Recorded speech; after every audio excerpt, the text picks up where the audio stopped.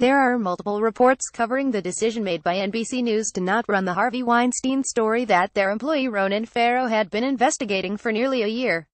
According to Salon, Farrow had accumulated quite the mountain of evidence to support his reporting by the middle of this year when NBC News took the extraordinary step of having executives of the corporate parent company NBC Universal have the final say on whether the store would be broadcast or not. By July, Farrow and NBC News investigative producer Rich McHugh were ordered to take an unusual step before running their story, make sure that it would receive approval from NBC News chairman Andy Lack after being reviewed by Steve Burke, executive vice president of Comcast and president and CEO CEO of NBC Universal.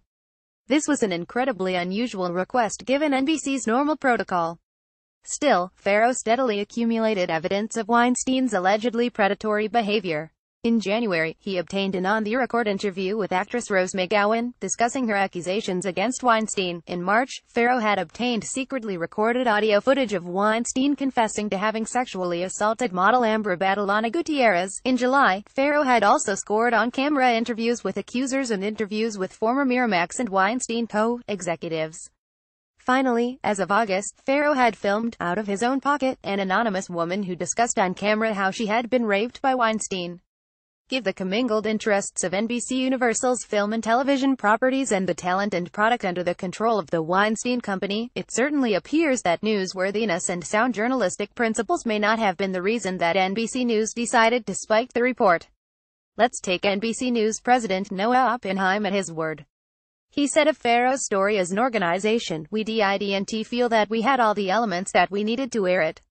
Interesting. Their reporter had multiple women who were willing to put their names on their allegations and not hide in the cloak of anonymity and they still didn't think they had enough to run this story against a movie producer and yet how many stories has NBC News run with about President Donald Trump with nothing more than anonymous sources? Just this week, the NBC News division made waves with a story alleging that the president requested a tenfold increase in America's nuclear arsenal and no one with direct knowledge of that allegation is willing to do what the women who were accusing Harvey Weinstein were willing to do, namely namely put their names to the charge.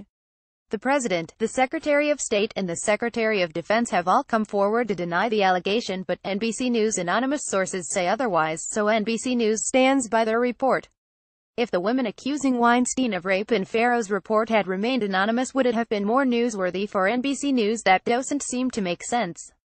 Is NBC News more concerned about broadcasting a false allegation against a movie producer than they are of broadcasting an allegation against the President of the United States? Sure, Weinstein denied the allegation and threatened to sue and one supposes that the worst-case scenario for NBC News would be that the story fell apart and they would face a lawsuit. But what is the worst-case scenario if they got it wrong about the president and the nuclear arsenal? What are the ramifications for our country and for that matter, the world if this report is false? But we don't even have to speculate on these two stories with these two subjects in a scenario that is arguably an apples to oranges comparison. How about the now infamous Access Hollywood tape of then candidate Donald Trump? That was NBC News' story as well. They had audio in their possession of private citizen Donald Trump captured at the time that he was a television star and private businessman and employee of NBC Universal. He says on the tape to Billy Bush that he often gropes women without their permission.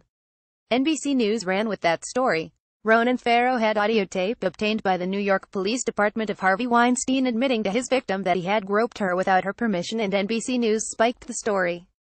In the case of the Access Hollywood tape Trump has written off the dialogue as locker room talk and said he was being obnoxious with another guy, making false claims just for effect. You may believe that you may not but the conversation with Bush is certainly different than hearing a man admit his crime directly to his victim. So what exactly should we take from all of this with regard to NBC News' journalistic standards and editorial guidelines? It's fair at this point to reach one of two conclusions. Either their standards change depending on who the target of their story is and, in their mind, the President of the United States is, not nearly as intimidating as a Hollywood movie producer or, there is an inherent political bias in the decision-making process at NBC News and a rich and well-connected Democrat donor deserves every possible benefit of the doubt compared to a rich and well-connected Republican candidate or politician Either way, Docent NBC News have a little bit more explaining to do this is an opinion piece. The views expressed in this article are those of just the author.